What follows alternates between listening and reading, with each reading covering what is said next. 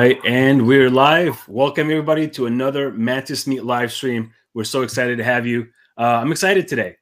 Today we're going to talk about a topic that a lot of people ask uh, us, the team, about on in Mantis Meet, and I have a fantastic guest with me today.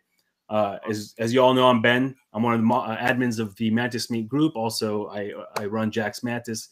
But today we have with us Bruno from Let Me Bug You, mainly on Instagram, and uh, I'm very excited to have him as part of this live stream today because you can tell his love for his animals and his work through his when you follow his work on Instagram and the, through the little time that I've known him, he's really been a really cool and nice guy. So again, uh, welcome Bruno. Thank you for joining us. How are you doing today?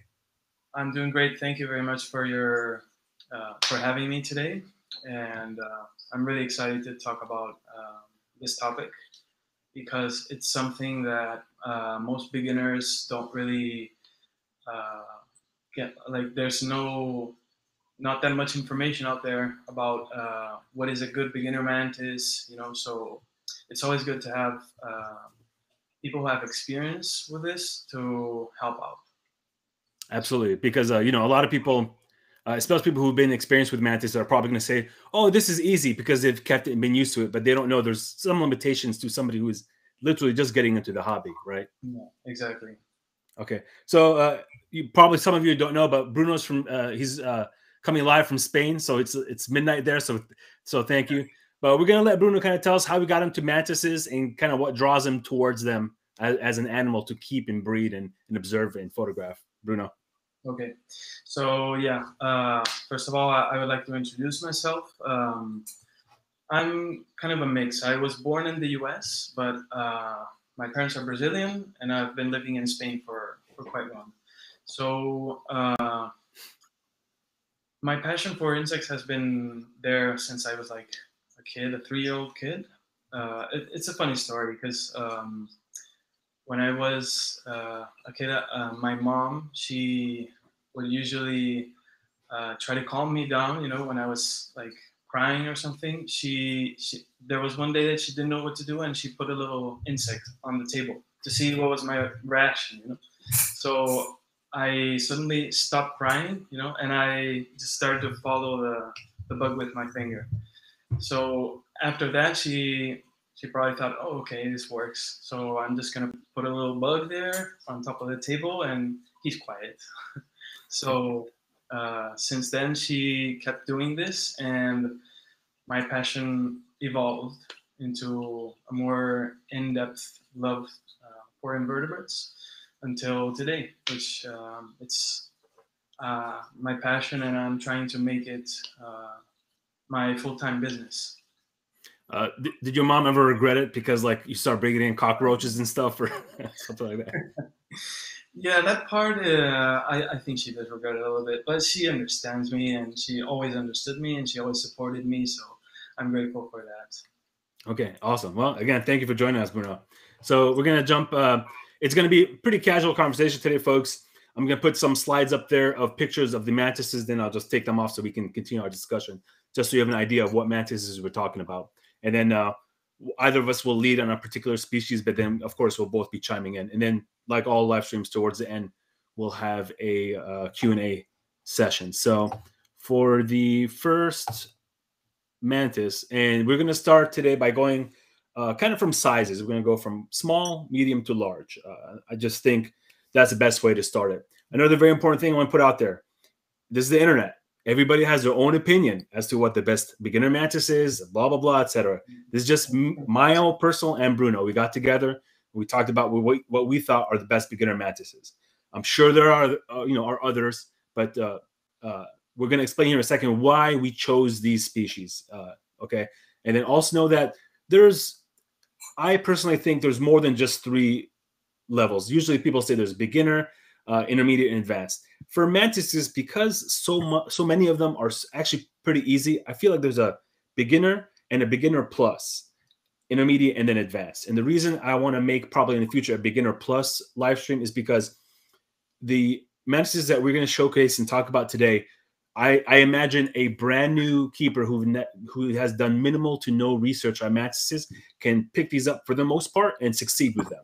I'm not saying that's don't do that. Do your research whenever you're getting an animal. Mm-hmm. But this is the point of this live stream is these are the kind of mantises that are so hardy, so easy that even somebody who has done no research can pick them up and really uh, you know make them thrive and, and have a successful uh, keeping experience with them. Okay, so the criteria by which we chose uh, what defines a beginner mantis is uh, no special environmental needs. So basically, you get the mantis, you don't have to get any additional heating pads, uh, you know, nothing, no uh, humidifiers, nothing like that. Uh, this is assuming you don't live in a, in a place that has extreme temperatures and you don't have climate control. So you might have to factor that in. Uh, no special feeder requirements. That's pretty self-explanatory. You should be able to keep them and raise them successfully without going out of your way to look for insects that are hard to come by or very specific. Uh, also, no special housing requirements. So again, as long as you meet the general uh, basic mantis rules for uh, enclosures, which uh, as many of you should know is uh, three times the length of the mantis high and two times uh, deep and wide. Okay, so and then factor, actually. was that Bruno? Sorry. I think that's the most important factor actually when you're choosing a, a mantis to know exactly um, how you're going to house it because um, it really influences the mantis in, in the sense that it has it needs space to molt you know and that's one of the most crucial moments in, in their uh, life cycle you know so if, if you screw that up then it's hard to go back yeah and, and you and that's you brought up a good point Bruno. like it mantises are really easy to keep the only issue is the molting. The molting is the most sensitive period for the mantis, and it's learning about catching these signs and stuff about when they're about to molt. And that you know that's kind of what helps you become successful. And another thing to the housing, uh, it's that's not the dimensions of the enclosure. That's the amount of free space you should have for the mantis. So if you get a enclosure that meets those dimensions, dimensions, and then you just fill it with a bunch of fake plants and sticks and too much of that stuff, too much busyness, it can actually affect the mantis when it's molting by not giving enough room to drop no. down vertically. Yeah. So no crowding because yeah, so that's very important. Um, another fact, the other factors are easy to find or obtain. Um, you know, there are rare or uncommon species that are actually very easy to keep, but you know, if, if you can barely find them or never even get them, what's the point of mentioning them? So we obviously have ones that are easy to keep, and uh, you know, Bruno will talk a little bit more of what's more available in Europe, and I'll be covering more of the U.S. side. Uh, affordable, obviously. So if you're a beginner, you're just getting into the hobby, or I'm sure there's a lot of you here in the group who say you love mantises and you haven't gotten it yet. Uh, you know, we want it to be affordable. Obviously, maybe it doesn't work out for you, but at least something that's affordable so you can give it a shot. You know, I, and, I, and then, I yeah. actually, sorry Ben, I, I actually noticed uh, this last year uh, there are much more species available in the U.S. than previous Yeah. years. It's my, Yeah, my uh, No, you're absolutely right. Even from somebody outside of the U.S., I can tell you as you know, from my from my side, it has definitely exploded. The hobby has grown. It just in the yeah, yeah. I'm going on my fourth year. It's it's insane how much it's grown. Even people that have been in way longer than I have have said the exact same thing. So you, I mean, you definitely got it there. You're right. Uh, there is so- growing yeah. interest of people that uh, probably didn't previously have interest in this. Uh, they're just open to to learn about this. You know, I, I don't know if it was um, because of the confinement, because of COVID and all that, that people were stuck in their houses and playing with their phones during more time and probably had more time to go through Instagram or Facebook or whatever and saw mm, many of these uh, posts and start to. I, I think that's probably a reason. Yeah, a a few of us keepers have had this discussion. We think it's a like a, a mix of factors. Obviously, like you know, COVID, uh, with everybody being indoors. Uh, TikTok was huge. A lot of big mantis influencers or whatever on TikTok became big. Um, you also have uh, Animal Crossing. Some people say that might be a big, you know, that came out and you can catch some mantises in there, including the orchid mantis. So, it's, you know, I think a, a combination of all those factors kind of led to a, a massive boom in the hobby. So, I actually don't know what is uh, this Mantis Crossing about. oh, Animal Crossing, it's a video game on uh, Nintendo Switch. So, but in there, yeah, you capture like different different uh, insects, and among them, you could there's like there's like your traditional green looking mantis and an orchid mantis, and you can catch them. You can like display them and stuff. So, and that game is very popular. So uh, I can imagine that had some something that people probably wondered. Hmm, I wonder if you can actually keep a real mantis. So, so and then um, So, and then lastly, hardy and resilient. Uh, these are mantises, you know, they, they can take a beating, uh, whether you forget them uh, for a few days or your your uh, your AC was a little bit too low or something like that. They can handle it for you know within a reasonable uh, time frame. Uh, any kind of yeah, conditions. yeah, like yeah, exactly. So again, not too much, but they can they can take a beating, and you know these are mantises that sometimes I've heard stories of people like leaving a ghost mantis nymph on the shelf somewhere. They forgot it for like a month and a half, and it just didn't eat or drink, and it was perfectly fine when they found it. You know, so it, you know lived in, in to, to an adult. So the, that's that's yeah, a very important part of that. Yeah. So do you want to say something about about that, Bruno? No, I, I said I, am guilty doing that. You go, yeah, it happens when you have hundreds and thousands of mantises. Yeah. It's gonna happen. It's unfortunate, but, but she was yeah. fine in the end. So. Yeah. So those those are the criteria that we're using today to define the beginner mantis. Now we're just going to go ahead and jump into species, starting from the small ones, medium, and then large. Okay, so the first one we got is the Creobroter, and I think Bruno, you're going to take it from here. Yeah, sure. So um, I believe this is probably the one of the prettiest uh, beginner mantises for obvious reasons. Uh, their threat display is just amazing. They have these purple and black colored inner wings, and plus they have a really aggressive behavior for their size, which in turn helps a lot in the in the part of uh, feeding them. You know, because they're not uh, skittish and they, they don't run away, so they, they'll just tackle anything they they get their eyes on. You know, so I also recommend them because uh, they are pretty adaptable uh, in the in the housing requirements, especially.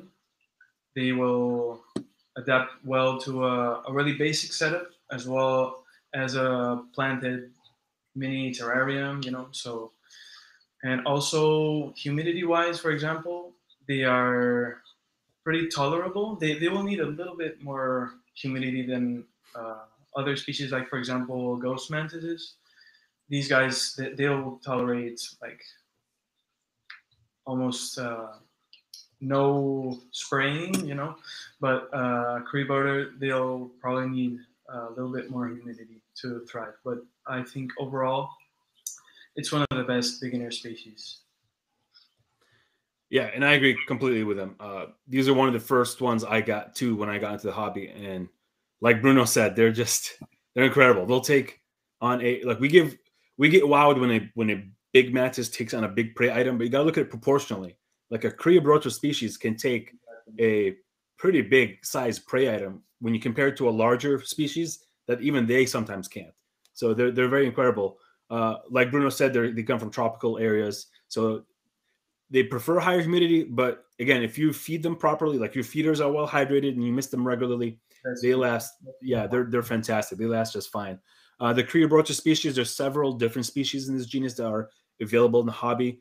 Uh, the main one is Gemmatus. Uh, you know, again, Bruno, pitch in what you, what you know from um, from the European side of things, but there's Gemmatus, there's Pictipennis, and Urbanus. I think those are the main three.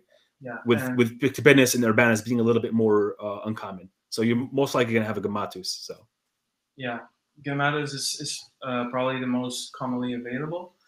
Um, my strand comes from a southern part in China, which is called mm. the Yunnan province. And I'm not really sure of what species it is, um, but it, it's yeah. actually the size of a hellier. I mean, it's, it's like huge. Yeah, yeah, exactly. When I saw it, I think uh, Ennis Ennis Fay had him first or something. But uh, I definitely noticed they're they're way bigger than your regular Creobroter. So that's that's there has to be a different species that we haven't figured out yet. So, mm. uh, but I'm actually excited to see those as they develop because they, I, you know, a bigger Creobroter, that's awesome. You know, that's yeah. I'll take it any day. so it's fantastic. And again, the great thing about these, uh, you can keep these in a 24 ounce cup their entire life. I don't know what a 24 ounce cup right, equivalent is uh, in Europe, but it's it's smaller than your regular 32 ounce. It's yeah, I think it's if you have cup maybe. A, a what? Sorry. Maybe. No, no, no, smaller than that. Yeah, I'm talking about like so so this would be your like a regular 32 ounce. It's like even less, a 24 ounce. Maybe They're even smaller than that. Right. If you want to, I'm saying if you live in a hmm. condo or a studio and you have literally just a shelf, you can easily have four, five, six of these species in little cups. You can make them look however you want as long as they, you know, meet the housing requirements and they'll do just fine. So they're, they're wonderful. Yeah. Ready to move on to the next one, Bruno? Or you have anything, anything else to say about this? Okay, I think we're good. So next species will be Theopropus species, and uh, Bruno will lead on this as well. Okay, so uh, I like to call this. Uh, uh it's it's not a totally beginner uh, species in the sense that uh, in terms of care and housing, it does meet the requirements for for to be cataloged as a beginner mantis.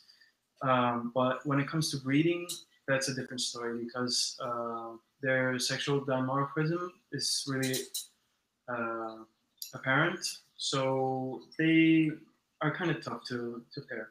But if we're talking about uh, overall care and, and, housing, they're, they're probably the same as Creobroter and humidity wise as well. They're pretty hardy. They'll tackle, they're, they're a bit more skittish than uh, Creobroter, but they they will tackle big prey. They prefer especially flying prey, which is uh, an important thing to keep in mind. Uh, because they, they tend to like to hang on to the leaves and, and top uh, foliage of, of the enclosure or even in the ceiling on the mesh. So uh, you don't want to just throw in crickets or, or red runners, for example, and just wait for her to, to go because they, they're more of a, a sit and wait predator, you know.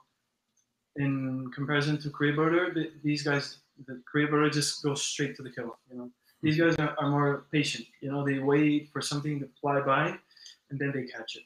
So it's always good uh, if you want to feed them other feeders that are not flying prey.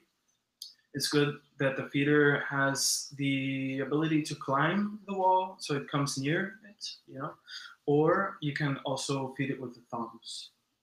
With, with the thumbs. Yeah, and and I was gonna say that because uh, as many people know, I'm a I'm not necessarily uh, I use crickets as my main feeder after fruit flies for most of my species.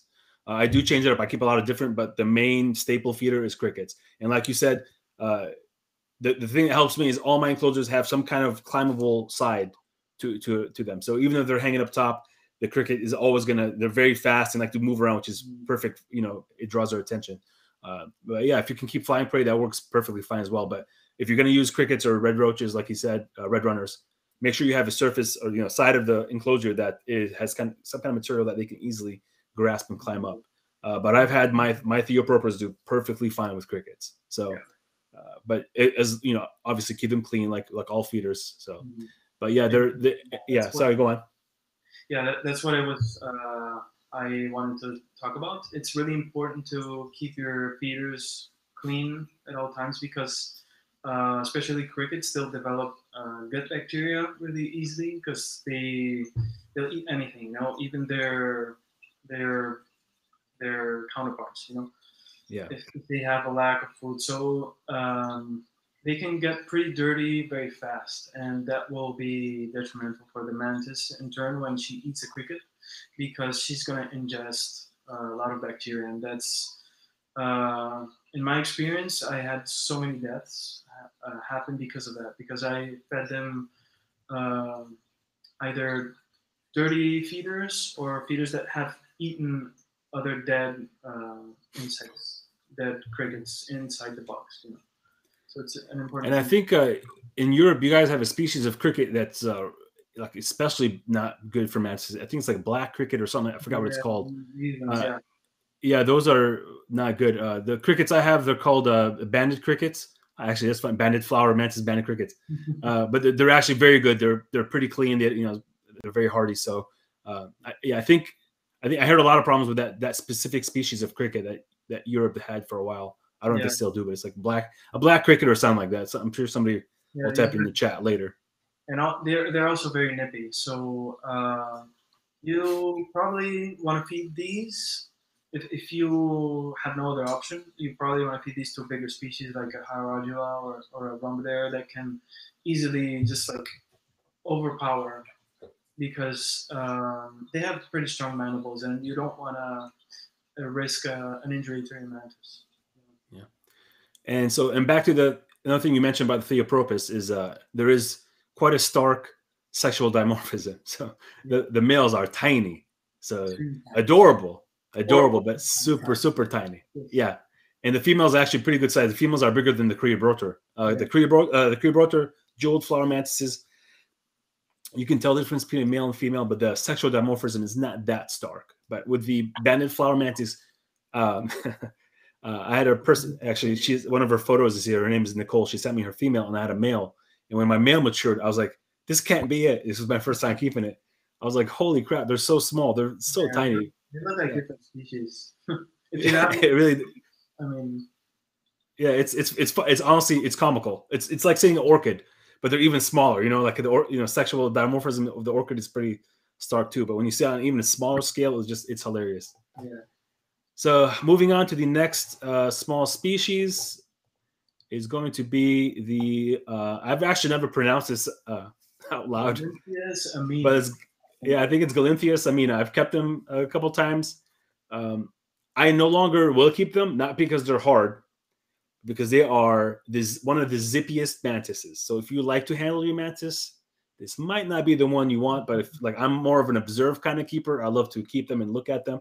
They- They're great. They're again another flower species. Uh, they look a lot more beautiful as nymphs for some reason. When they get an adult, they have kind of like your traditional mantis look a little bit uh, in terms of coloration, except for the pronotum has a, a bit of it, uh, a bit of like a pattern, and their um, and the raptors too. But they have plain. Yeah, sorry, go on. Yeah, yeah. I mean, I'm actually learning from this because I, I never owned the species, so it's pretty Yeah. interesting. Yeah, and you know these are even smaller than the Creobroter, I think. So again, if you have a shelf and a studio and you want to keep mantises, you can keep easily half a dozen of these, no problem.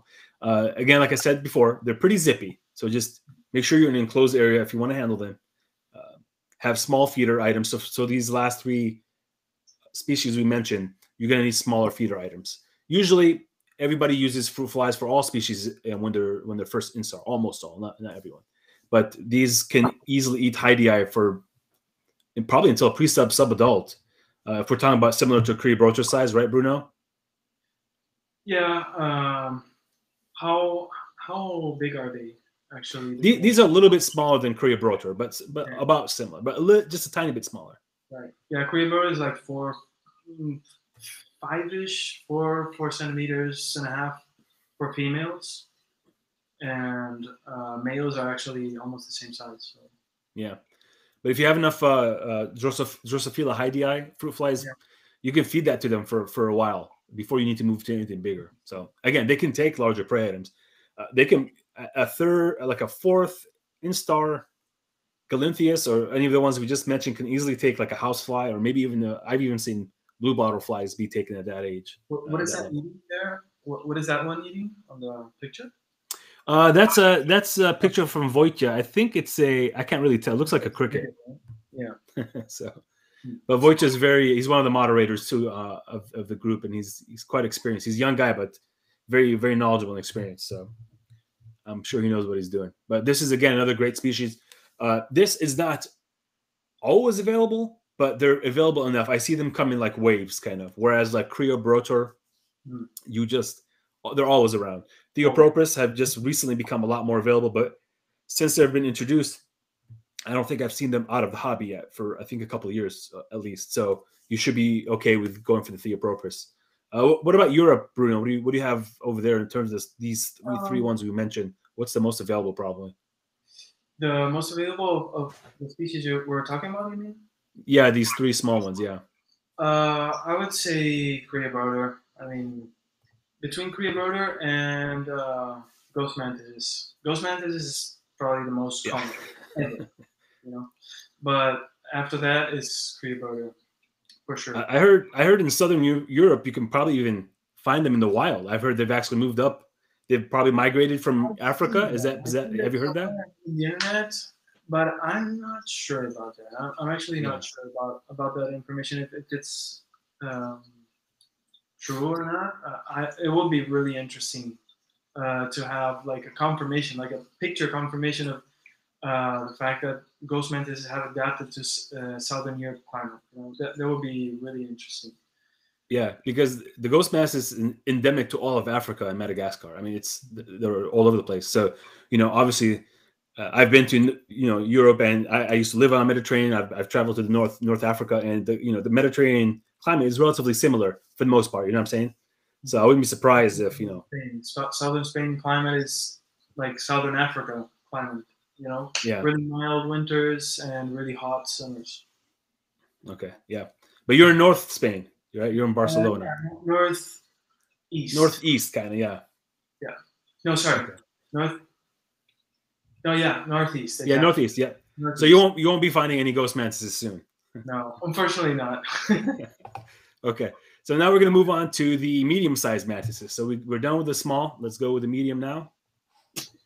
And I, we already just mentioned it. Bam, baby. It's, this is one of the best.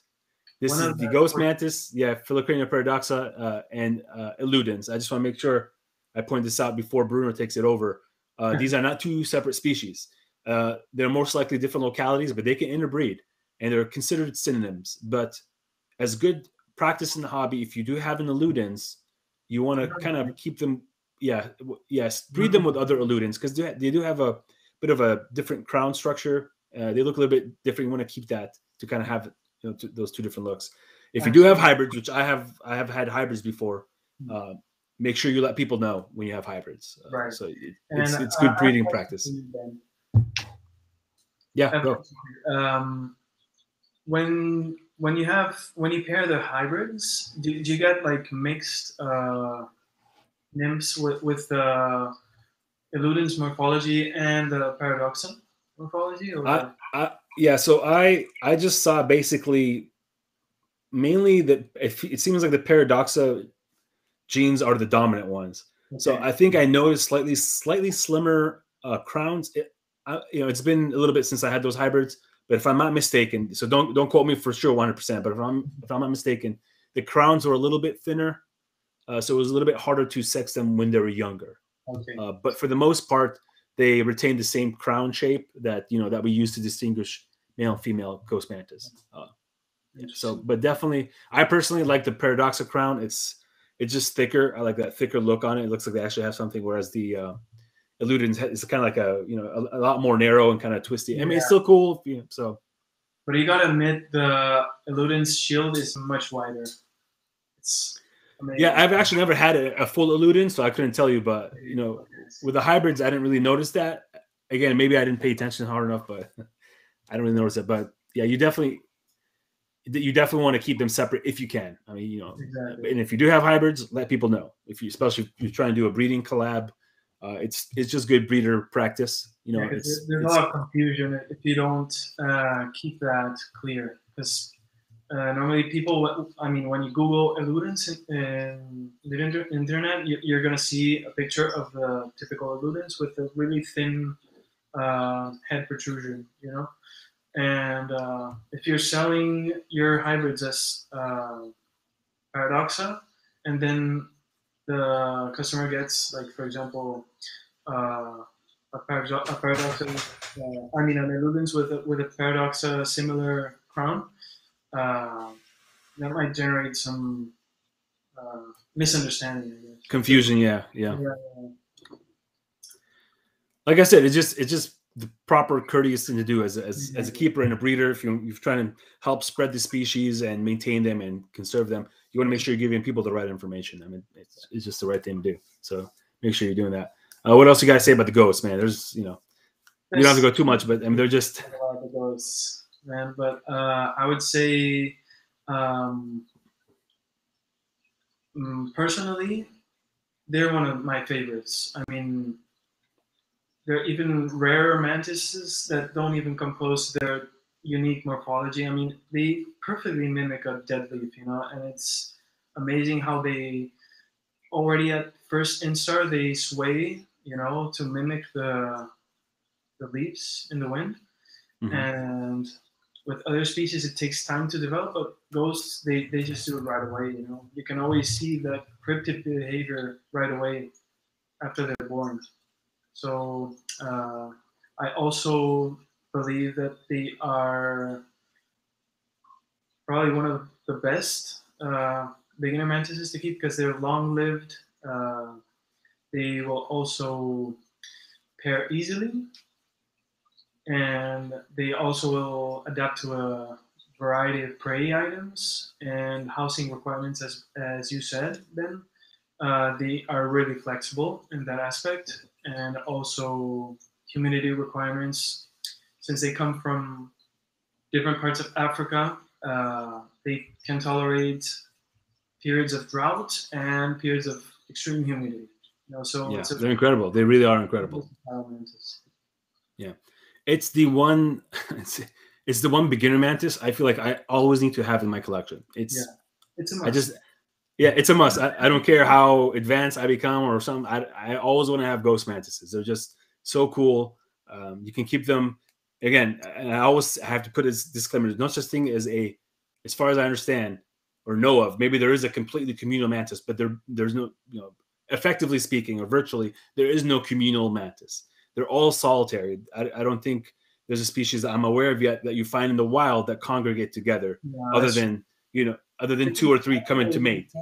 They, they don't have such an aggressive behavior, for example, but um, they're not communal as um, like natural behavior. They're not communal, you know. Yeah, yeah.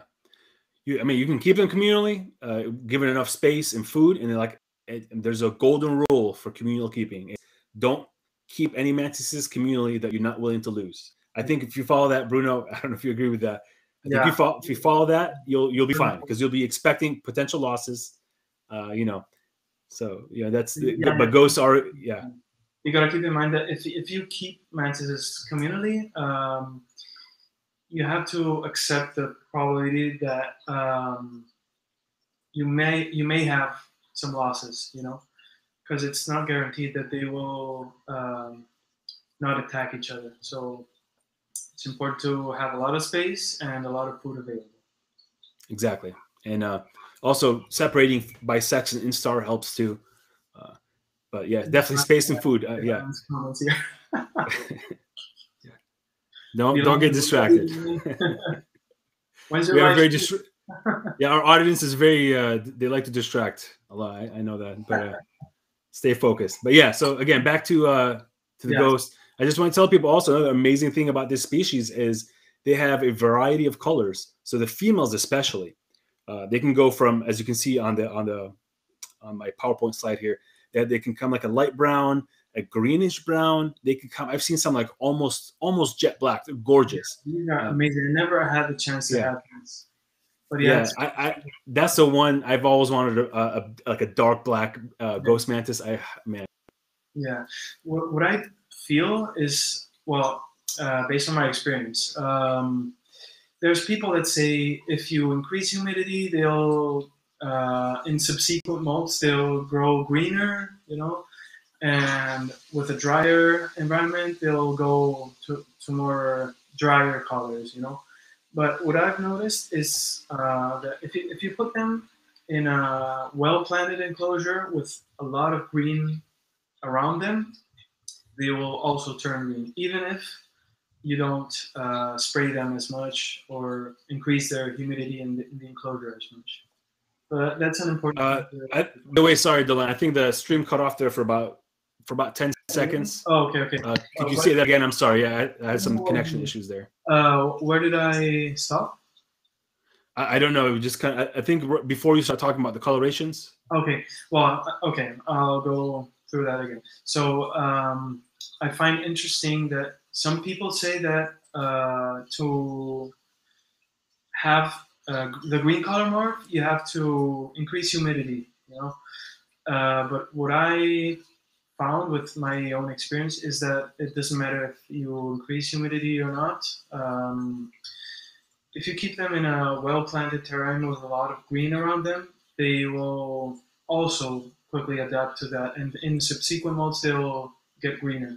You know, because Yeah. um, what I found is that if, if you put them in a darker area with uh, like brown foliage, they will adapt to that independently of their humidity.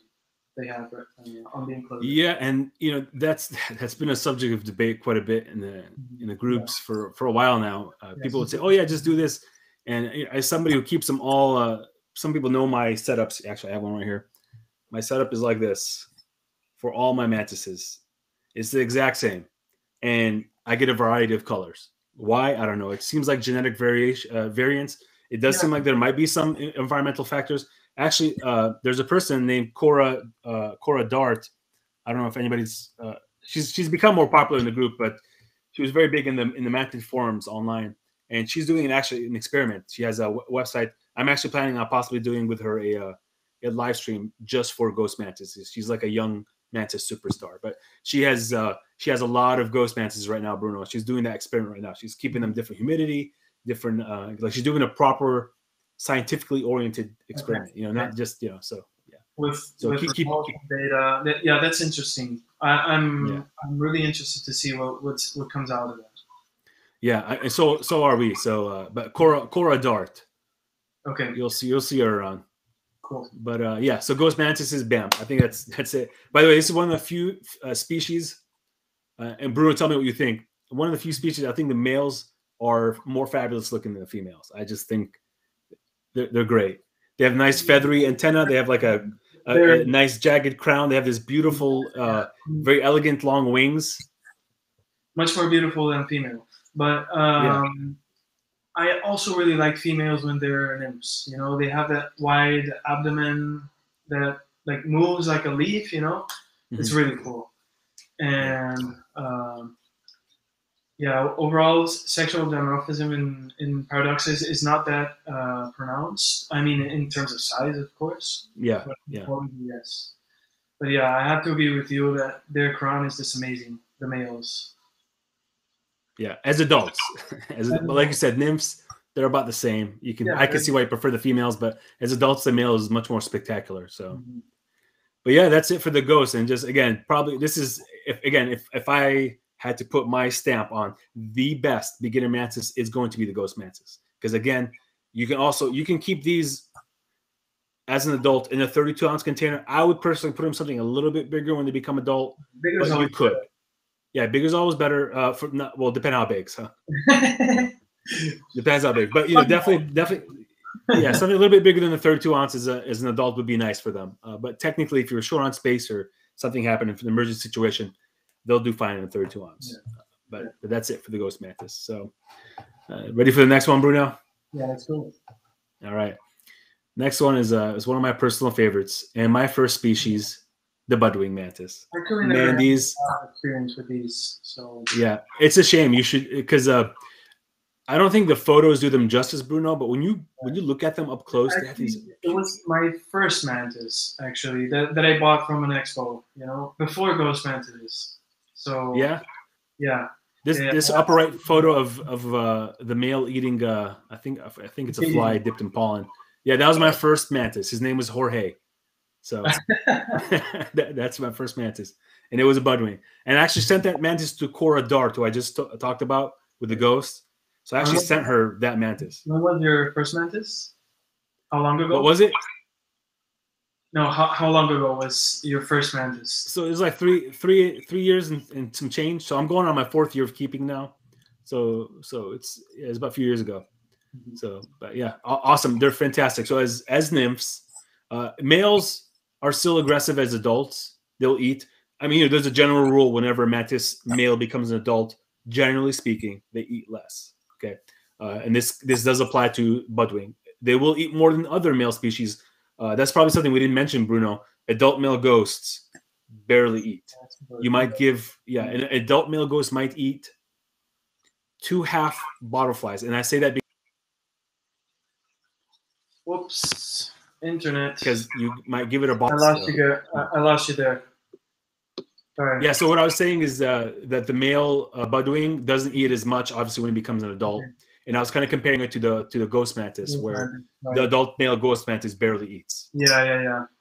Yeah. So probably like acanthops males. These guys, they probably eat one meal and after the adult and mate and bye bye. You know.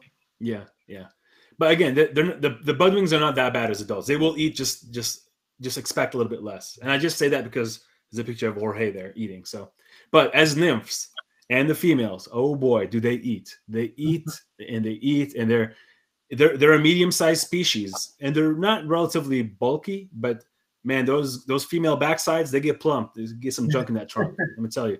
So yeah, they, they can definitely eat, and uh, when when when breeding, the females can be very voracious as well. Poor boys got to watch out. So as you can see the picture, the bottom right, that's one of my males trying to breed with the females. That's also a topic I wanted to cover. Now that you mentioned this, um, overfeeding is really important to um, know when to stop feeding uh, certain species because uh, they are so voracious that they will keep on eating whatever you throw them and eventually they, they can end up bloating and developing gut infections and all that so it's important always oh, to absolutely a rule of thumb I would say is probably um, for adult mantises, for adult females especially, one prey item, one, good size prey item every two or three days, I would say. Yeah, and if you're giving them proper water, you can probably give them once a week if if you're giving enough water to drink. You know, so mm-hmm. uh, what was I going to say? But yeah, some some species are a little bit more prone to that. That's called what we call ooth bounding, and that's when yeah, exactly. uh, the the eggs yeah the eggs get stuck. And that one result could be because of too much food. Another one could be because they just haven't found a mate yet, and they just want to hold on for a while. So that that's that's one thing to be wary of. But Bruno's right. The females of this species, especially as they will keep eating. It's insane.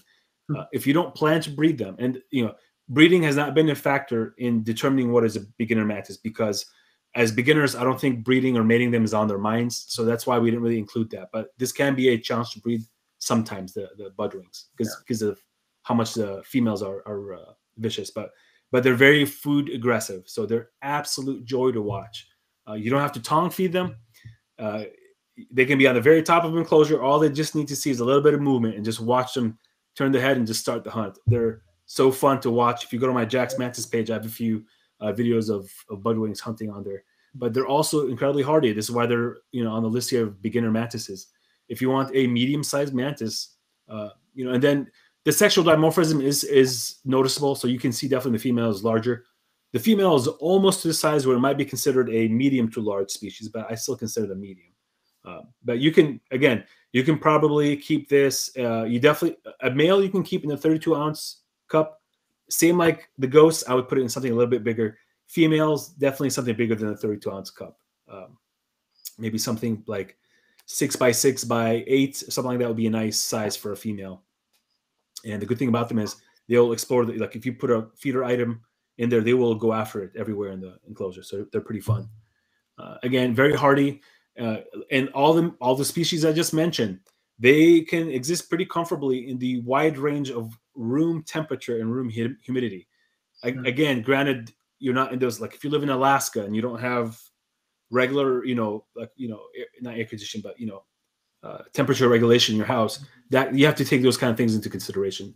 But your normal room temperature, room humidity, all these species do Works just fine. Perfectly. Works perfectly. Yeah they do just fine as long as you give them water drink uh, regularly and you, you give them properly hydrated food items are clean they'll do just fine. Nothing they don't need anything special. As long as it doesn't go below 19 degrees celsius uh, i don't know how much is that in fahrenheit. I can look that up real quick. Google's right here. Metrics man. We're already in it you're saying? What? Yeah, so 66 fahrenheit. 19 degrees about 66 fahrenheit. Okay, yeah. So uh, as long as it doesn't drop lower than that, they're they're just fine. Yeah. They'll do fine. And, uh, fine. They'll eat fine. So. Now, one thing concerning, and tell me what you think about this, Bruno. But one thing concerning room temperature, and room humidity that I've noticed and experienced. Now, all these species we're talking about, they can they can thrive and do just well in those conditions. However, I do feel like having a slight variation during the day helps with uh, even though they, again you can technically have light on them their entire life and they, they can survive but i feel like when my mantises have a slight variation in temperature and light like a day night cycle and you can set that. You could put your timer you know you turn on the lights of your room if there's no not, you know natural light you can turn it on certain times of day to give that mm-hmm. type of day night cycle. Same thing with temps. Uh, if it's like if you get like I'm speak Fahrenheit here, Bruno, but let's say you have during the day 80 degrees Fahrenheit, and if you can have it drop at night to like 72, 73, uh, it's good. I think that little variation helps the mantis kind of um, regulate, have some like a cycle. Yeah, yeah, exactly. As long as you, as you keep it in a in that range, they'll do fine. And it's always good to try to mimic as closely as possible uh, what nature feels like for them. You know? Yeah, if, yeah. If keep things too linear, like for example, um, a constant temperature or constant source of light, you know, and you turn off. Uh, I mean, if, if you have a bug room like you or me, if you turn off the lights too late, you know, after too many hours, that probably affects their um, behavior pattern, you know, and may also affect their mating patterns, you know, because mm-hmm. many species, the males become more active searching for mates at night when the females yeah. are much calmer, you know, and they're releasing pheromones. So that's an important thing to keep in mind as well if you're trying to go into breeding. Yeah, and I think also most mantises, I would say, probably molt when it's darker, uh, well. given that they're very visual and a animals. lot of patch as well at night. Yeah, and during early morning. Yeah, so you know, considering again they're very visual, so they can they can tell when it's light or dark. Yeah. Uh, that's actually what the three eyes between their compound eyes are for. Yeah. So um, you know, I would assume also when it's darker, they molt more comfortably or or easier. Mm-hmm. So that that helps too. And also, usually when it's darker, uh, especially maybe around sunrise when there's like dew everywhere, the humidity is a little bit bumped up. That could possibly why they like to molt around that time as well. Again, it's a little bit kind of theoretical and a little bit of conjecture, but something to think about. Uh, so that's that's the budwing. Okay. So uh, moving on to we're gonna move on now to the large species, and this is Again, I'm I'm more of yeah, I'm more of a large species guy. That's kind of who I am. Uh, don't get me wrong, all the other ones are great, but when it comes to mantises, for me, yeah. the bigger the better. Yeah. And we got here some of the biggest ones available in the hobby, Rhombodera species. The Godzillas uh, of the mantis world. Was that sorry? The Godzillas of the mantis world. Yeah, yeah, they're, they're, they're awesome. Now with the Rhombodera species, it's one of the uh, genera that the species is a little bit different. So on the very right, you'll have a Rhombodera megera. The middle is a Rhombodera, uh, sorry, the very, yeah, megera. In the middle is a Rhombodera Stahli. Now, there's another species called Rhombodera basalis. The reason I'm not putting that in the beginner is because they are highly food aggressive. And I never ever wiggle my finger like this in front of a Rhombodera basalis. You know, never. Yeah. I will never make that mistake again. Keep your mantis stuck there for like five minutes. Don't do that yeah, exactly. Uh, when I handle mantises, uh, it's always the open palm. Like I don't like to have like rogue digits running around looking yeah. like like food items. So uh, with the rom, yeah, that's why I kept the Robert Rhombodera basalis out. It's it's a fantastic mantis. Don't get me wrong, I love them. They're actually one of my favorite. They're they have a very pretty good sized pronotum. It's pretty wide as far as Rhombodera go. Cool. Uh, not as wide as uh, pronotum, but it's pretty wide. Um, and then, but we're gonna focus on two species here that I want to talk about. It's Rhombodera megera which is the probably the biggest one in, in, in terms of like mass, I think. Uh, and then Rhombodera stahli, which usually has a more narrow shield. The genus as a whole is a mess. So who knows what I'm telling you might change later. They might change the name, but keep your eyes out for those two species for Rhombodera as far as beginners go. Megera and stahli. Okay. And they're commonly referred to as shield mantis, Javan, Javan shield mantis, even though not all of them are from the Java Javan area, which is Southeast Asia. It's like I said, it's kind of a mess. But Rhombodera stahli, Rhombodera megera, they are very large. They feed well. They have the traditional uh, uh, classical mantis look, uh, and then they also have these beautiful white spots on their on their wings. And the green tends to be more vibrant uh, than, let's say, Herodula or Herodula. And those pink, so on, they're definitely a species to keep your eyes on. Sorry, those pink on the wings are just awesome. Um, so yeah, yeah, and the megera on the bottom side have more more pink than the other species in the genus. So it's yeah, they're they're awesome. They're big. They're they're aggressive. Um, they're generally handleable as long as it's not a basalis. And again, once you learn mantis behavior and you can kind of tell when the mantis want to be trifled with, handling becomes easier because then you know not to handle it. It's, it's that easy. Sometimes the mantis will be in a wandering mode and you don't have to do much. You just put your hand in front of it and it'll climb up. So it just depends. But for a beginner, again, this is why I'm looking at this from the from the viewpoint of a beginner. Uh, these are the Rhombodera species you want to stick with. Do you have anything to add about them, Bruno? Um, I had previous experience with them. I kept them for. I kept uh, a species that's that was commonly referred as Rhombodera valida here in Europe. Mhm. I, I don't know if, if it was actually Basalis or I don't know. They were labeled as valida for me. So um, they're. I mean, I think we covered mostly everything. They're, they're really versatile predators. They they will. It's really amazing to see how they can tackle even medium history, for example. They- They'll just go for the kill, and their jaws are so strong that they'll even pierce through that their their armor, so to say. Yeah, exoskeleton. Yeah, it's crazy. yeah. Skeletons. It's- And uh, I actually have a video on my Jax Mantis uh, page where uh, I have a Rhombodera basalis because they're crazy. But it's taken on an adult eastern lubber grasshopper. And I don't know if you've seen them, Bruno. They're huge. yeah, So and they're very well armored and everything. It just it's awesome. It could just they it's just crazy. It's, it's really fun to see. so, Yeah. but uh, back to one more thing. So in in Europe, I think uh, Bruno, correct me if I'm wrong. You might also see uh, latipronotum, which is a. Rhombodera with a much wider pronotum. Exactly. Yeah. Yeah. They have Yeah. a much wider pronotum, and also uh, new species that has been. I I've seen some people with it is Rhombodera kirbyi, kirby eye, Mm. kirby. I, I don't know how to. Haven't heard of it. Yeah.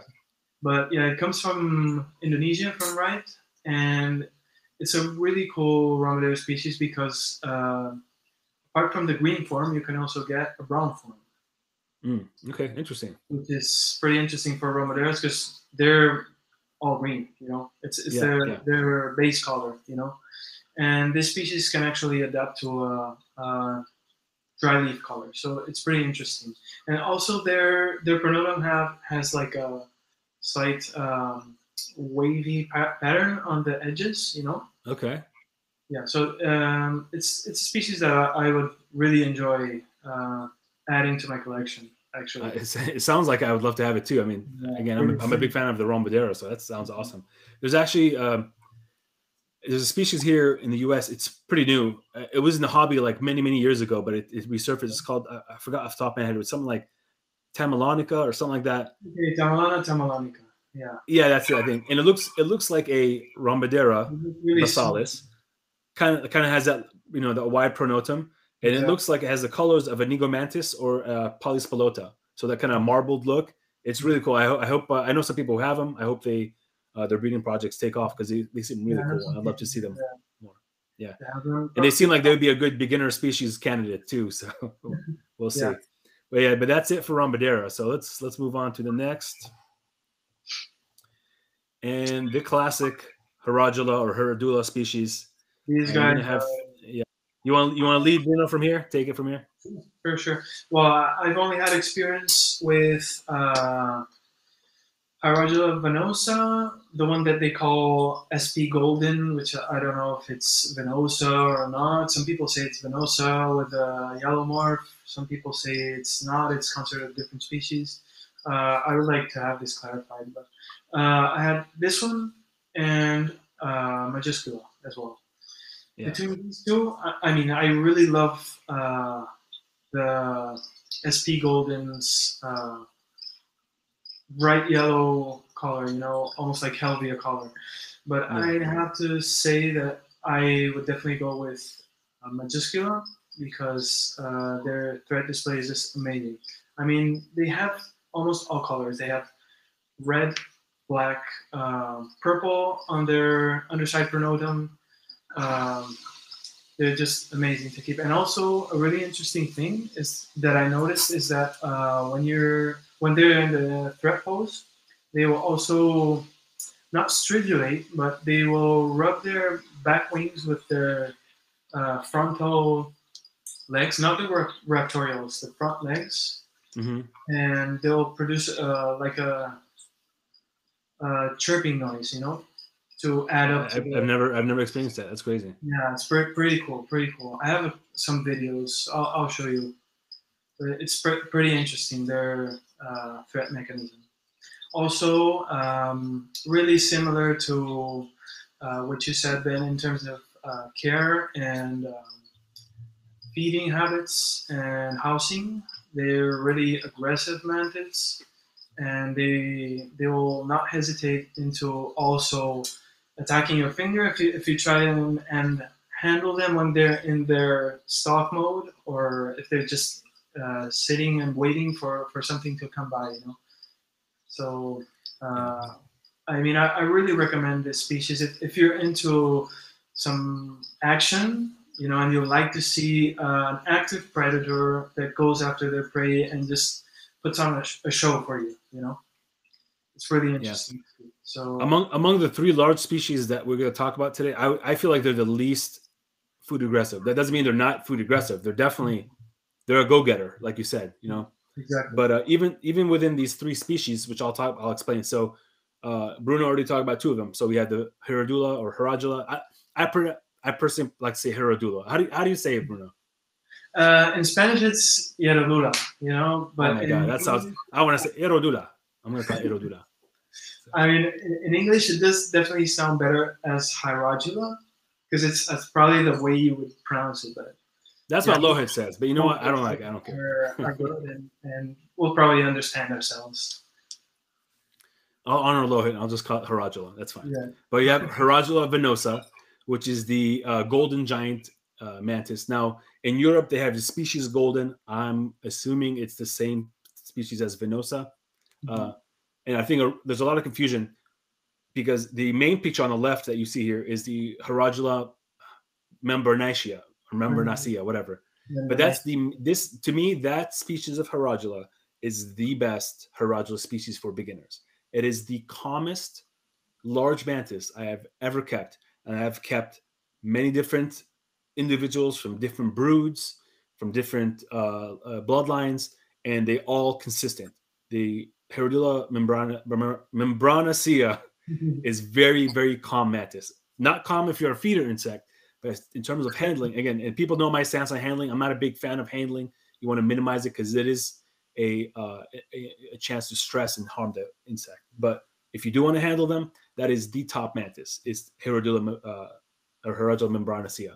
The Venosa are probably the spazziest in my experience of all those three. I personally love them because I, anytime a, a mantis is uh, has a lot of attitude or is aggressive or spazzy, except for uh, Galinthias amoena, which are a little bit too spazzy for me, but I, I kind of like that. So that's why I like the Her, uh, Herodula venosa. Uh, the females are the only ones that come in that bright yellow, and it is a yellow that you will see rarely on other mantises. So mm-hmm. the first one that I mentioned, the Her- Herodula membranacea, the main one, and that one actually gets the biggest of those three. That one comes in green, comes in like a tan, even brown. Uh, whereas the Her- Herodula venosa come, the females can come in full green to that full beautiful golden yellow, and anywhere in between with the mix. Males are always mm-hmm. full green. Yeah, I've uh, seen even um, pastel colored, like some sa- salmon colored um, venosas, which are yeah. absolutely stunning.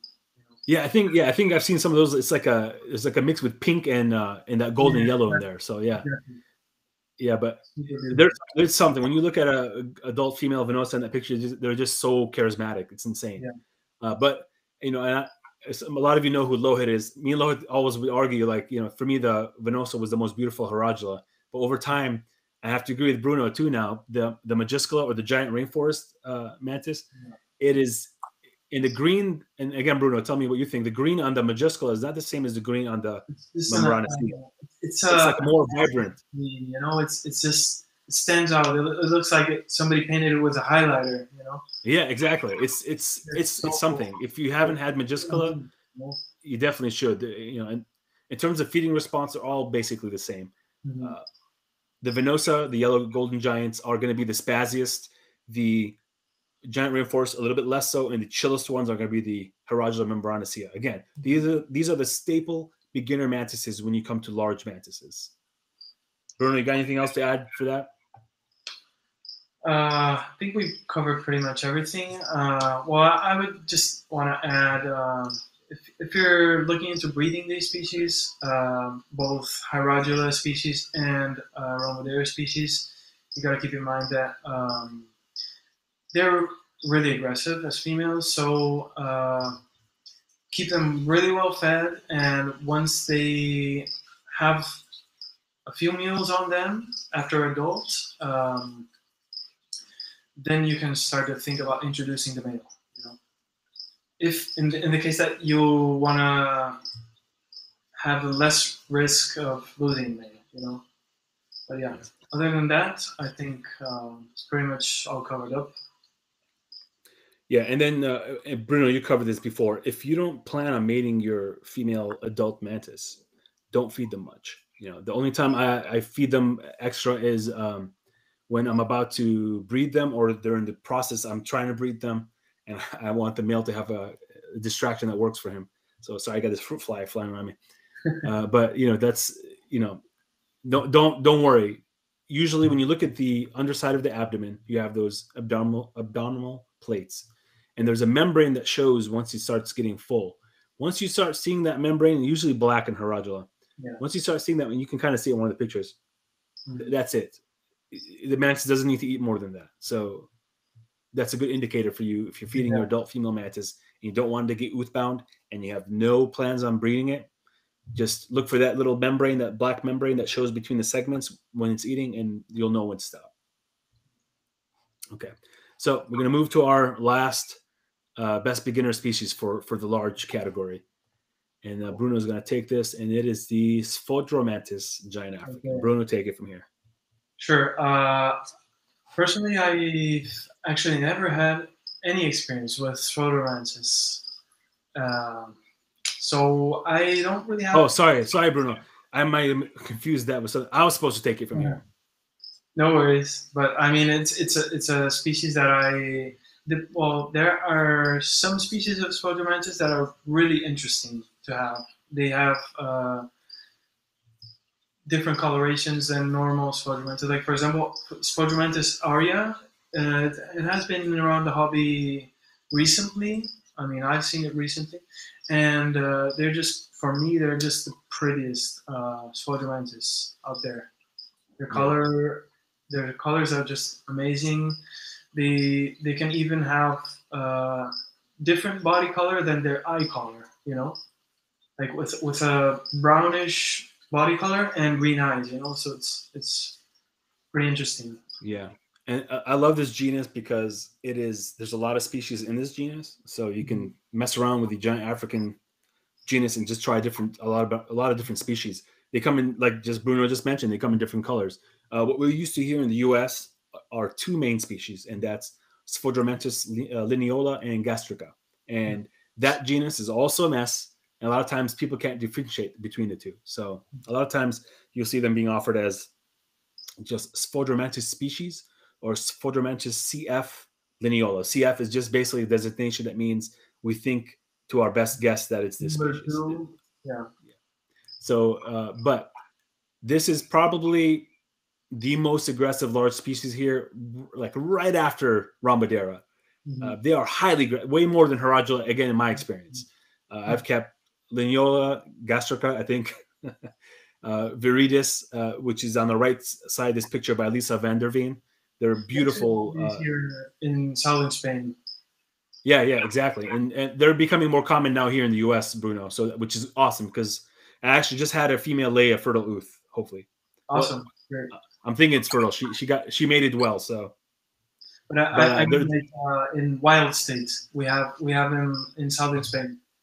Yeah, like in the wild. So it's pretty interesting because I, I a few years back I didn't know about that, and uh, you know I uh, I thought Sp- uh, Sphodromantis that that's an African genus, you know, and I would never see it present in Europe. You know? So yeah, I mean, again, geographically speaking, it, it wouldn't be surprising if you know, for example, let's say a, a shipping container from from Libya, you know, Morocco, Syria, made it to the port somewhere on in, uh, in southern Spain, you know, and it had an ootheca on it, and it had so I mean, it's it's it's definitely within the, the realm of possibilities. Mm-hmm. So, but they're absolutely beautiful, and there's nothing really I can say about these Sphodromantis that I can't say for the Hierodula. They're great beginner species. They're pretty handleable as well. Not as good as the Hierodula, but pretty handleable. Uh, mm-hmm. they are fantastic hunters. They are super aggressive. You, again, very hardy. you can't go wrong with them. So if you see, if you're looking for a beginner mantis and you want a large one, and you want to have a good feeding response, this is a fantastic species. Uh, Bruno, do you have anything else to add to that? Uh, I also wanted to add, uh, again, talking about uh, breeding aspects. Uh, these guys, uh, both Rhombodera and uh, Sphodromantis, and also Hierodula, Yeah. these guys explode with babies. You know, so with one pair, you can get uh, maybe the female lays around five, six ooths. What do you think, Ben? Around that quantity? Eh, maybe? My my Venosa is easily laid with one pairing, easily four ooths, and Okay. uh, yeah, And and each just uh, 100 plus. Yeah, one, 100 minimum. Yeah. Yeah. Yeah, yeah. So the, naturally, any species that has a very high hatch rate al- almost inevitably has high die off rate, and they also tend to be uh, more cannibalistic than others. Ge- again, this is all generally speaking. That's what I noticed with with high hatch rate species. So uh, I just had a macromantis ooth hatch. I, I posted it to my. I'm not kidding. Is the 300 plus species, and macromantis is a massive, massive mantis. So there, there, it's yeah. These these large mantises for the, you know they, they tend to hatch. Uh, the ones that we just mentioned, they hatch a lot of nymphs. So It's funny that be, be uh, ready. Yeah, it's, it's funny that uh, really large mantises uh, produce uh, such tiny nymphs, you know. And for example, uh, I don't know, ghost mantises. They they're like a, medium size, medium to small size mantis, and Yeah. they produce around like twenty to maximum forty plus individuals in, in an you know. And they're already uh, a good size, you know. Yeah, And they're they- not a, like a, a ghost mantis nymph at first instar is not that small. Yeah. Yeah. Or, for example, talking about more advanced species, Ceratocrania.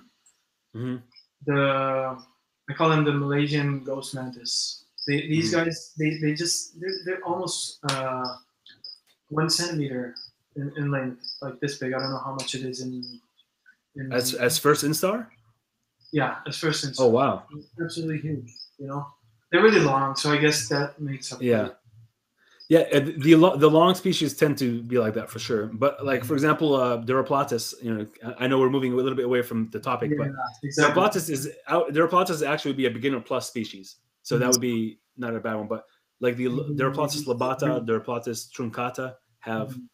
probably the largest first instar nymphs I've ever seen. Now Yeah. they're not a small species, but they're they're like on the smaller spectrum of the larger ones, you know. And yet they have the largest nymphs, which is kind of And weird. So, but they're species, these first yeah, they could they like could probably said- take houseflies at first instar. Yeah, yeah, yeah.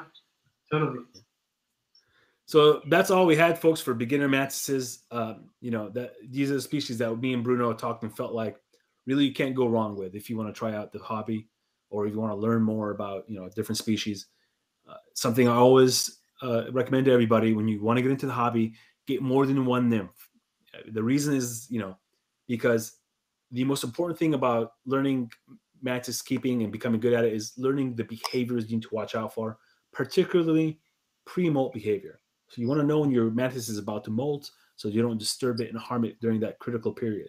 And if you have more than one nymph, you have a reference point. You can say, "Hmm, this nymph is not acting like the other one that I have. Something's off." Whereas if you only have one, you don't have a frame of reference. If you don't have that experience, so so yeah, Plus, I, I wanted to add as well that uh, if you only get one nymph, you're gonna regret it. I mean, you're gonna enjoy it so much that you're gonna want a couple more. Yeah, you, you're gonna hit- you're gonna hit yourself later because like why don't I just get more? And it's it's just you're wasting your time. Just get more than one, okay?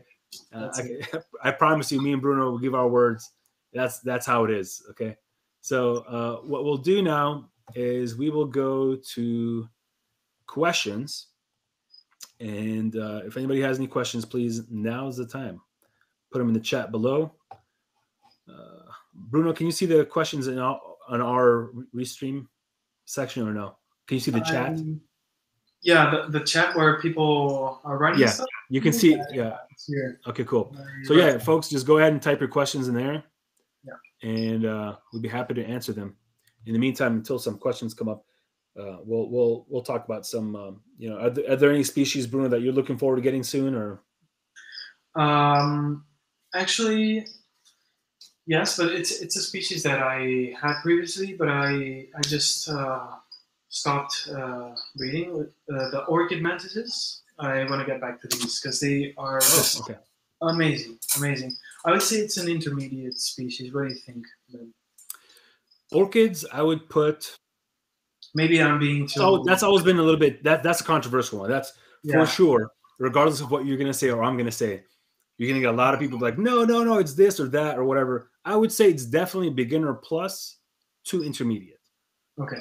Yeah. They're not. They're they're a lot hardier than people think, personally, but they're not necessarily. think, oh, orchid mantis, they need a lot of like specific. No, they don't. No. They they're pretty resilient and they'll adapt fairly well. You know, but they, they do need uh, uh, some min- minimums. You know, like for Yeah. example, don't go below seventy percent humidity, or don't go below like uh, twenty two degrees Celsius, which I I don't know how much is that in, in Fahrenheit. But yeah. Well, one thing I always tell people: if you cannot provide the um, Yeah. the the proper humidity, you can easily just give it more water to drink. That's always a a tactic that you should that people should be aware of. So again, um, I'll always give them extra water. So in case you can't meet that humidity requirement, it's more work, but it's doable. Obviously, you want to give it the the, the ideal parameters, but if you can't reach that with with low humidity conditions, just give them more water to drink, and they should be fine. So Okay, I, I see a question here. Uh, what enclosures should I put my Hierodula venosa in when they reach their final instars? I mean, the rule of thumb, as Ben said, is uh, three times their height and twice uh, their their length, yeah, and, and width and depth, yeah. Exactly. That's it. So you want to keep them in a tall enclosure. That that's really important to to keep in mind because they like to hang on to uh, top surfaces. So yeah, that's that's a rule of thumb for you to keep in mind. I don't know if you have anything else to add, then to that question. No, uh, again, and and I mean, Bruno, I'm sure you'll understand this. Like, because we keep so many, to us, just simple is better. You know, that doesn't mean we don't have beautiful enclosures. If you look behind me, I have some very nice terrariums and stuff. Hmm. But for the most part, especially if, if you're a beginner, you don't you want to minimize the margin of error. Yeah. Keep it simple. They don't need anything special. It's for your eyes you think that you need, not for them. So Yeah. again, take this and take this cup right here and and expand it to the size necessary, and that's all they need. Yeah, Okay. once you have more experience with them and stuff, then you Yeah. can start to, I don't know, put them in a planted enclosure um, where they have all the structures they need to climb onto the walls and everything. But it's Yeah. always good to start with the basics and keep things simple in the beginning so you get the hang of it. That's my opinion. Yeah. And then uh, uh who asked that? That was Jose. So Jose, in, my nicer enclosures that have foliage and plants and stuff, I, you usually the best thing to do is put an adult in there because you don't have to worry about it molting and having any issues. Exactly. So until it until it hits adulthood, just keep it in something very very simple. As long as it has space, that's all it needs. A good gripping material to hang from. That's it. It's again so easy. Like, the, like I said before, the main issue or problems you have with with mantis keeping is people not knowing the signs of when it's about to molt, and they move the enclosure or move the mantis or put in a feeder insect that might bump into it while it's in that critical period. It might fall and die. So yeah, having that kind of yeah so that's that's kind of what you what you want to keep an eye out for and that's why simple enclosures help you notice those things you know so Okay. Uh, there's another question here. Fantastic live stream, guys. Thank you. Uh, thank you hannah Yeah, thanks. Thanks a lot. Really enjoyed Yeah. it. I'm carrying my Deroplatys Desiccata tonight for the first time. Please, okay, you want to start, Ben? yeah sure I, I literally just posted this morning of, Why of- smiling? I, I, I, I, I was sure you want to do that. Okay, because i just posted this morning a Okay. picture of one of my females chomping the head off one of the males but so, they're actually not that hard to well any Deroplatys species male is going to be pretty finicky uh, and, and pretty sensitive to um, Yeah. uh, like interference so This includes the Deroplatys desiccata. So what uh, you always want to put the uh, desiccata male in first. Uh, let it acclimate at least a few hours. Uh, turn down the lights a little bit.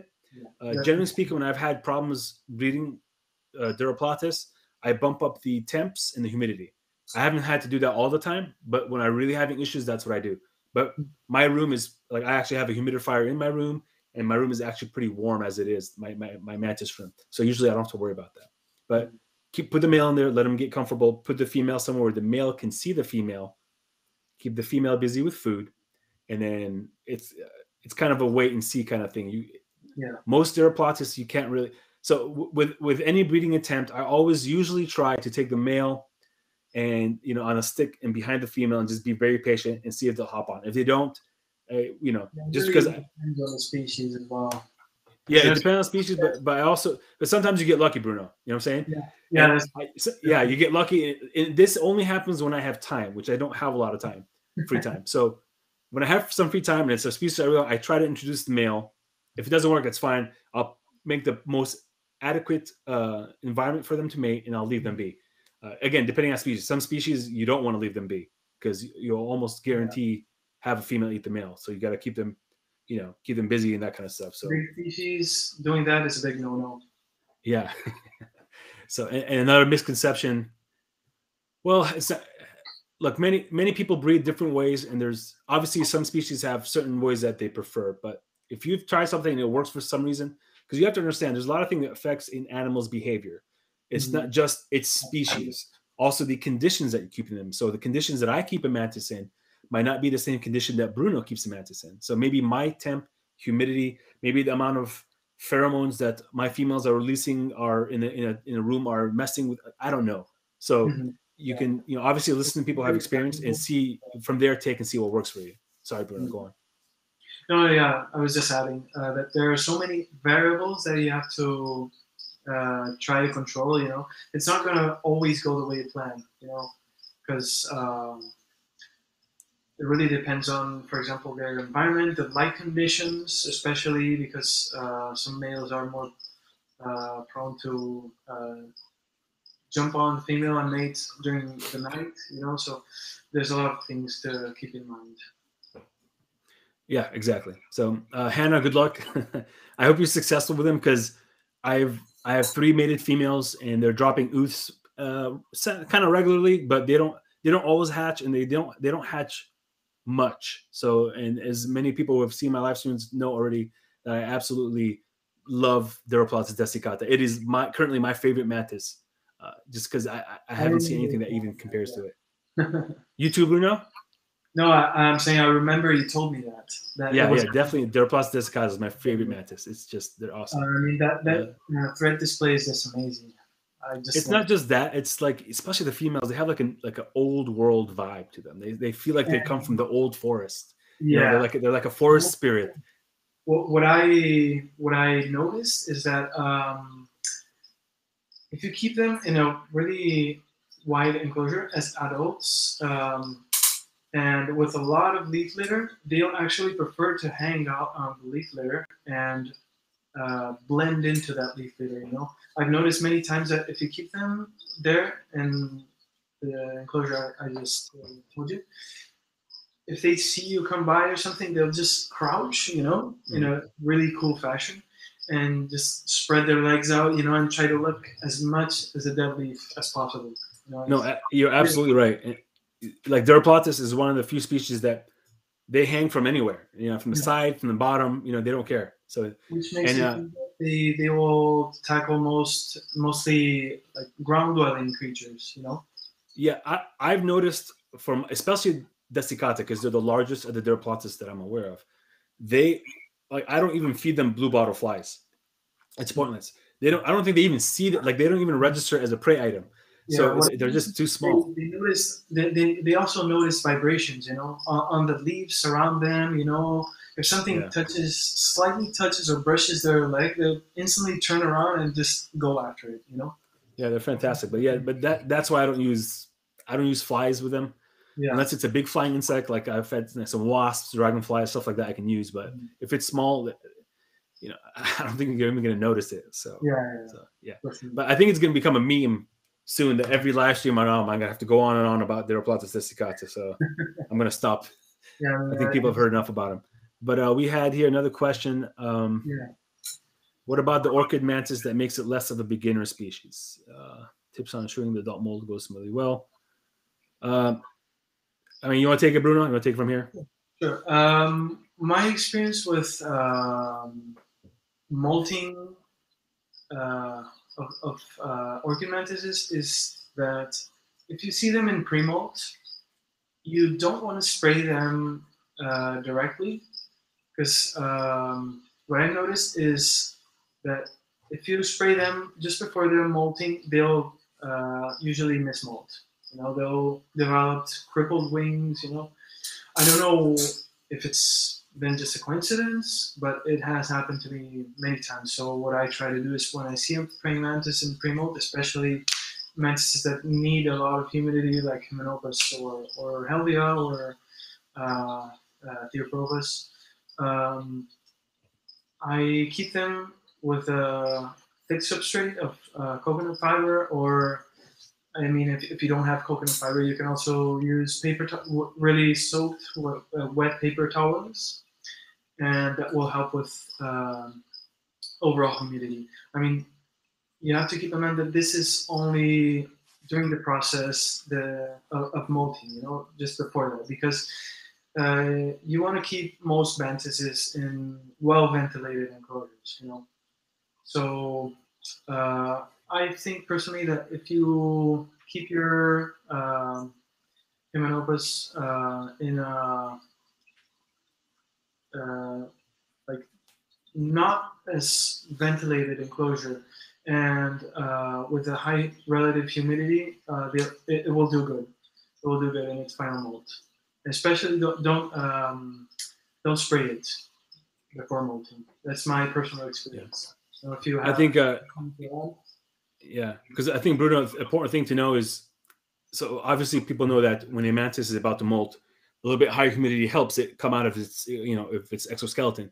But at the same time, it has to dry when it's coming out, you know. So Sure. if you just if it's yeah if it's if it's coming out and you're just spraying it is drenched with water it's not going to be able to dry properly so that could be what's interfering so that's why uh, most of the time if you, and again we've talked about this many times in this group internal hydration is the most important part so it doesn't matter how humid the enclosure is if your mantis has not been drinking and eating fe- feeder items that are properly hydrated enough it's most likely going to mismolt that's the most important thing that's and then second comes the humidity. So make sure you're feeding your mantis as well. So in terms of what can you do to ensure the adult mold goes smoothly, make sure it's eating well.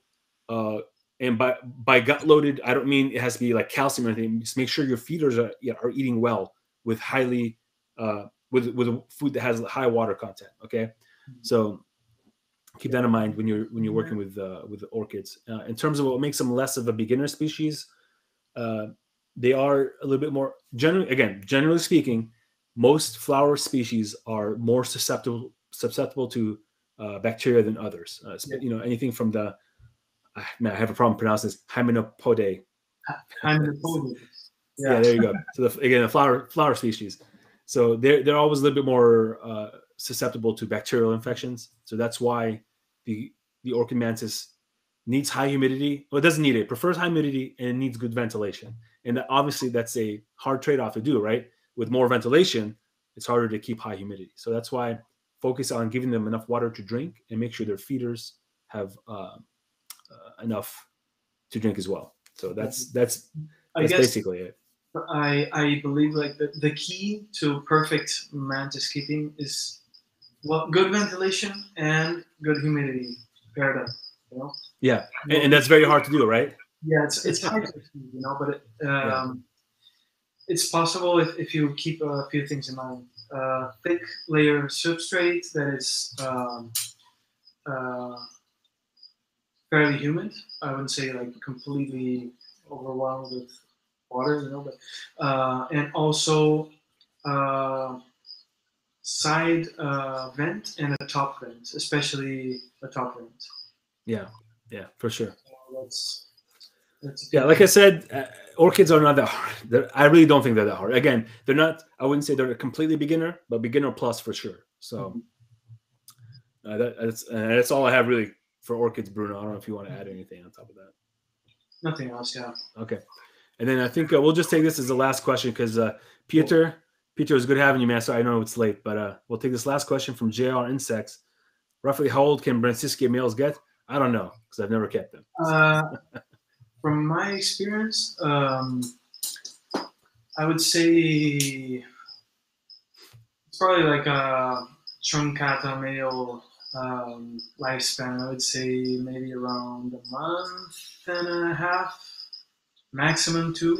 You know, because usually they're they're usually the, the smaller the male is, the less they live. Obviously, so uh, for example, Desiccata males, they're, they're huge, and they are probably the most long-lived males I've ever kept. Yeah, they've yeah. for four, five months. You know, four months. Oh, to- six months easily adult. Yeah, yeah, yeah, yeah, yeah. So I mean, my my truncata males can can go three to four months usually as an adult. Yeah, No problem. So, yeah, uh, but if I if I was to if somebody gave me Brancsikia, just looking at it and understanding its habitat that it comes from, I would basically treat it like a Deroplatys. That's that would be Yeah. my assumption. Yeah. Which I would love to have. If you have Brancsikia, send them to me. Thank you. yeah, I'm trying to breed these. Uh, I currently need a male because apparently my male didn't do a good job with my two females. So I I, I got ooths, but they're not hatching. So no Oh, man, yeah. Something Yeah. about these deadlift species, man. Sometimes they just lay ooths and it's like, nah, I don't feel like giving you a good one. So, but okay, uh, Bruno, unless you have anything else to add, brother, uh, I think we did a pretty good job. Uh, it's gone a little bit longer than I anticipated, but that means it's good. We're having a good time. Uh, but good thing about stream is that it saves to the group. You can ask questions later, and we can chime in later. So if you have any questions, you can still post them down below. Uh, thank you for watching. Uh, thank you again, Bruno, for joining us. Again, I, you know, I was Thank when I was thinking about people to do this with, you're literally one of the first people to come up to mind. So I want to thank you for uh, for agreeing to do this. I know you're a Really appreciate it. you say you're an introvert, but I think you you do uh, some people a favor showing that pretty face of yours. But yeah, once once I get the go the thing going, it, it's Yeah. just fun. You know. Okay, don't forget, guys, to check check Bruno out and let me bug you at let me bug you. The Instagram link should be in the post. Let me double check, but it, I definitely put it in there. Check him out. Uh, he's he promises he's gonna make more of Facebook content. yeah. So you promise you're gonna you're gonna make more of an effort to be Yeah, on, on Facebook. I'm, I'm definitely gonna be more on Facebook because I, I I see there's like such a big community that I'm missing on, you know. So Yeah. I'm definitely open to that. All right. Well, thank you, everybody. Uh, there will be more to come as usual. So uh, thank you for for stopping by. We're gonna have more live streams concerning this topic. So I'm, I'm thinking about doing a beginner plus live stream for you know Mantis is our beginner plus. Uh, I would love to do it with Bruno again, but you know I want to try other breeders as well. No offense, Bruno. Yeah, we love you, man. So, but yeah, so that's it. That's all I have. Thank you again for watching. And then Bruno, do you have any last words? I'll let you close out. Do you have any last words, Bruno? I'll let you close out. I just said that uh, I'm really excited to see other people featured here. Okay. Really looking forward to that. So- All right. Much love. Thank Right. you. Thank you very much, Ben. Talk to you soon.